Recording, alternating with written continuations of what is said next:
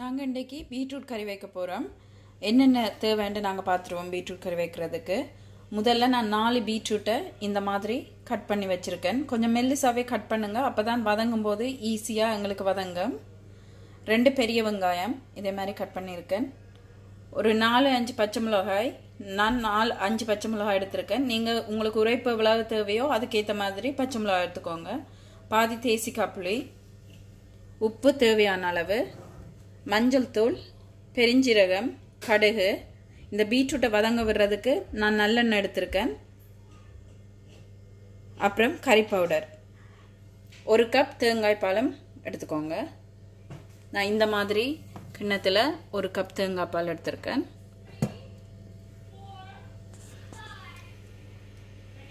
இதோட நாங்கள் ரெண்டு கட்டு கருவேப்பிலையும் எங்களுக்கு தேவை. நான் இப்போ போய் கருவேப்பிலை எடுத்துகிட்டு வர போகிறேன் ஒரு நிமிஷம்.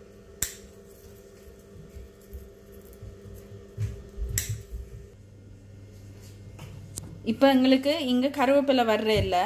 அதனால் நான் எங்கிட்ட விட்டு ஒரு சின்ன மரம் இருக்குது அதில் இருந்து ரெண்டு கட்டு கருவேப்பிலை எடுத்திருக்கேன். நீங்கள் உங்களுக்கு கருவேப்பிலை எவ்வளவு நீங்கள் தேவைப்படுமோ அவ்வளோத்துக்கு நீங்கள் எடுத்துக்கலாம். ரெண்டு பெரிய கட்டு எடுத்தீங்கன்னா ஓகேயா இருக்கும். இது நான் சின்ன கட்டு தான். இப்போ நாங்கள் எப்படி பீட்ரூட் கறி வைக்க போகிறோம்னு போய் பார்ப்போம் வாங்க. நான் இன்றைக்கு மண் சட்டியில் தான் உங்களுக்கு பீட்ரூட் கறி வச்சு காட்ட போகிறேன் இப்போ சட்டி சூடாயிட்டு நாங்கள் இதில் நல்லெண்ணெய் ஊற்றிக்க போகிறோம் நல்லெண்ணெய் சரியான உடம்புக்கு நல்லது. நீங்கள் கொஞ்சம் கூடயே பீட்ரூட் வதங்குறதுக்கு எங்களுக்கு நல்லெண்ணெய் தேவை. அதனால் கொஞ்சம் கூடயே ஊற்றிக்கோங்க அப்புறம் இந்த எண்ணெய் காஞ்சதுக்கு பிறகு தான் நாங்கள் கடுகு சேர்த்துக்க போகிறோம்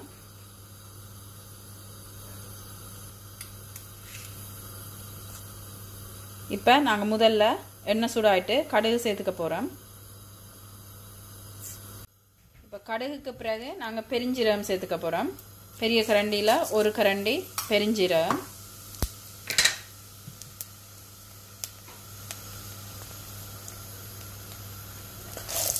வெங்காயம் சேருங்க.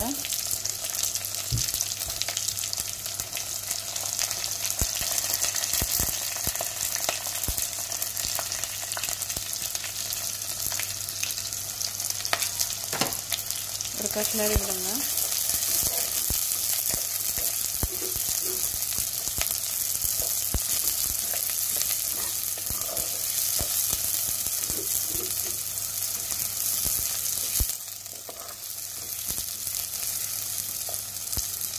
நாங்கள் ஒரு டூ மினிட்ஸ் இந்த வெங்காயத்தை வதங்க விடுவோம். அதுக்கு பிறகு தான் நாங்கள் பீட்ரூட் சேர்த்துக்க போகிறோம்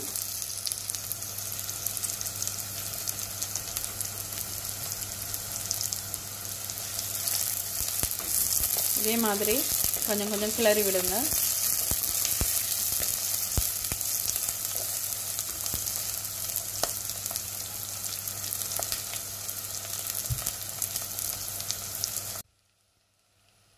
இப்போ வெங்காயம் ஓரளவு வதங்கிட்டு நாங்கள் ஓரளவு வதங்கினதுக்கு பிறகே நாங்கள் பீட்ரூட்டை சேர்த்துப்போம். ஏன்னா இந்த வெங்காயத்தோட பீட்ரூட்டும் சேர்ந்து வதங்கினோம் நாங்கள் இப்போ இதில் இந்த வெங்காயத்தோட பீட்ரூட்டையும் சேர்த்துக்க போகிறோம்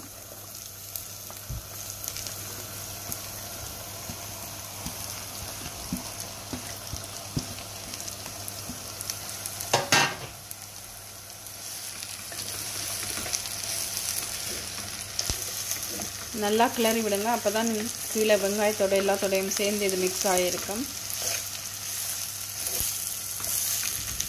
இப்போ நாங்கள் இந்த பீட்ரூட் நல்லா வதங்கணும். நல்லா பொரியிற மாதிரி வதங்குற வரைக்கும் நாங்கள் இதை விட போகிறோம் அடிக்கடி நீங்கள் கிளறி விட்டுட்டே இருக்கணும்.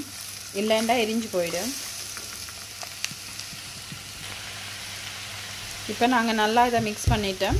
இப்போ நீங்கள் இதை ஒரு மூடியால் மூடி ஒரு அஞ்சு நிமிஷம் அப்படி இதை அவிஞ்சு வதங்குறதுக்கு விடுங்க. இப்போ அஞ்சு நிமிஷம் ஆயிட்டு நாங்கள் இப்போ இதை ஒரு கத்திரந்து நல்லா கிளறி விடுவோம். நாங்கள் இப்போ மூடி விடுறதால இந்த பீட்ரூட்டில் இருக்கிற தண்ணியும் சேர்ந்து இந்த பீட்ரூட் அவிஞ்சு இந்த தண்ணியெல்லாம் வற்றி கடைசியாக அந்த நாங்கள் ஏற்கனவே ஊற்றின எண்ணெயில் இந்த பீட்ரூட் நல்லா வதங்க. நல்லா கிளறுங்க.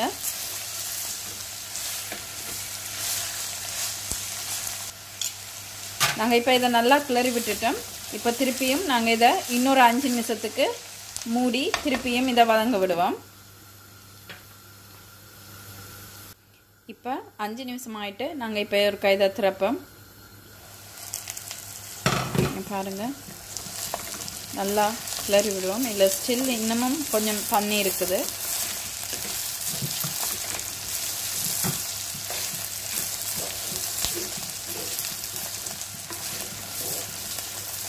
நாங்கள் ரெண்டு தடவை அஞ்சு அஞ்சு நிமிஷம் இதை மூடி வதங்க விட்டுனாங்க. இனிமே இதை மூட தேவையில்லை. இப்போ இதில் இருக்கிற எண்ணெயில் இந்த பீட்ரூட் வதங்குற வரைக்கும் நாங்கள் அப்பப்போ கிளறி கிளறி இதை விட போகிறோம்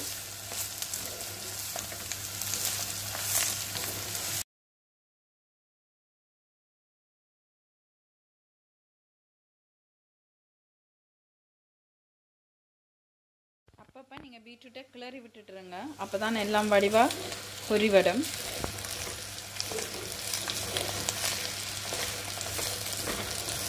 வதங்குறதுக்கு கொஞ்சம் நேரம் ஆகும் நாங்கள் இதை பொரித்து எடுத்தும் வைக்கலாம். ஆனால் நாங்கள் அப்படி எடுத்தால் நிறைய எண்ணெய் பீட்ரூட் இருந்து நிறைய எண்ணெய் இழுக்கும் பீட்ரூட். அதனால் நாங்கள் கொஞ்சமாக எண்ணெய் ஊற்றி தான் நாங்கள் இதை வதங்க விடுறோம்.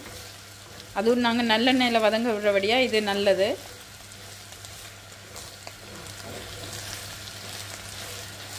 இன்னும் கொஞ்ச நேரம் இதை நாங்கள் வதங்க விட போகிறோம் இப்போ பீட்ரூட் வதங்கிட்டு இருக்கு. இங்கே பாருங்கள் இப்போ எண்ணெய் எல்லாம் கொஞ்சம் மேலே தெரிய ஆரம்பிக்குது. நல்லா இன்னும் நல்லா மிக்ஸ் பண்ணி விடுங்க.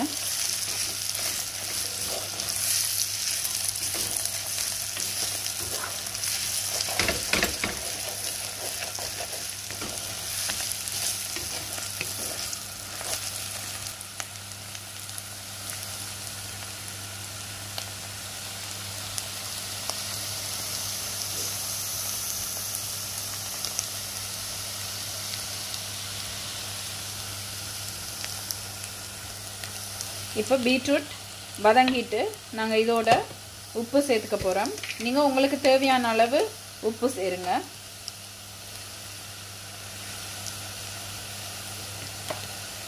நான் அதுக்கு சின்ன ஸ்பூனால் ஒன்றரை ஸ்பூன் உப்பு சேர்த்துருக்கேன்.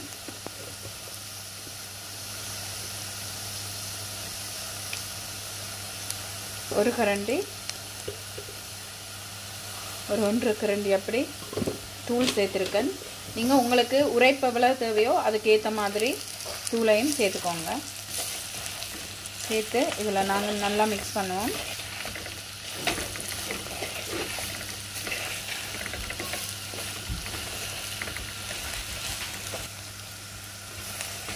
நல்லா மிக்ஸ் பண்ணிவிட்டு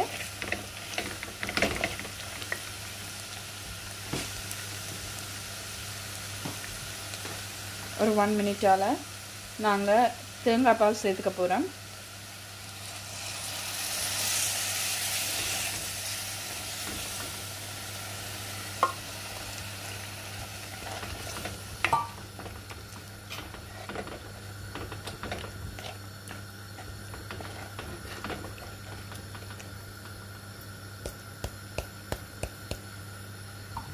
தேங்காய் பால் சேர்த்து இது நல்லா கொதிக்கிற வரைக்கும் இந்த தூளின் மணங்கள் எல்லாம் கரையில இருந்து போகிற வரைக்கும் நாங்கள் இதை அடுப்பில் கொதிக்க விடுவோம். இப்போ இது கொதிக்குது. நீங்கள் அப்பப்போ இதை கிளறி விடுங்க.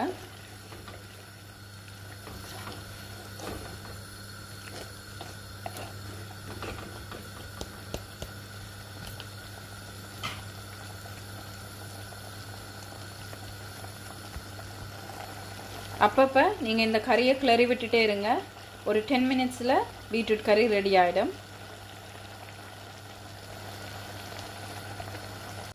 இப்போ நாங்கள் இதோட கருவேப்பிலை சேர்த்துக்க போகிறோம் நீங்கள் தாளிக்கும் போதும் கருவேப்பிலை சேர்க்கலாம். இறக்கக்கு முன்னாடியும் சேர்க்கலாம். நான் தாளிக்கும் போது சேர்க்கல. எங்கள்கிட்ட நான் ஏற்கனவே சொன்ன மாதிரி எங்கள்கிட்ட கருவேப்பிலை இல்லை. அதனால் நான் இதை கடைசியாக இறக்கக்கு ஒரு கொஞ்சம் முன்னாடி விடுறேன். முன்னாடி தான் இந்த கருவேப்பிலையை நான் இதோட சேர்த்துருக்கேன். நல்லா கிளறி விடுங்க. நான் உங்களுக்கு ஏற்கனவே சொன்ன மாதிரி ஒரு பத்து நிமிஷம் எடுக்கும். பீட்ரூட் கறி ரெடி ஆகிறதுக்கு பாருங்க கறி நல்லா கொதிச்சிட்ருக்கு. நீங்கள் அப்பப்போ கிளறி கிளறி விடுங்க.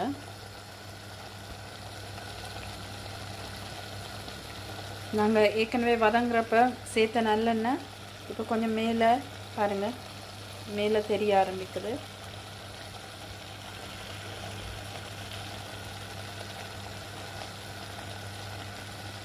நீங்கள் எப்படி சமைக்கிறது? சரியான நல்லா இருக்கும் ரொம்ப டேஸ்ட்டாக இருக்கும்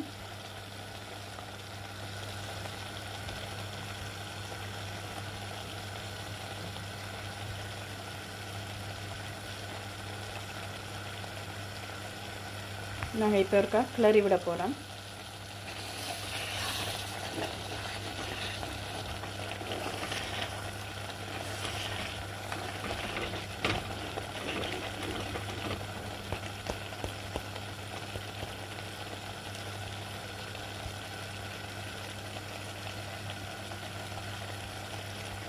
இப்போ பீட்ரூட் கறி ரெடி ஆகிட்டு நீங்கள் அடுப்பு ஓஃப் பண்ணிவிட்டு நாங்கள் இதோட பாதி தேசி காப்பிளி சேர்த்துக்க போகிறோம்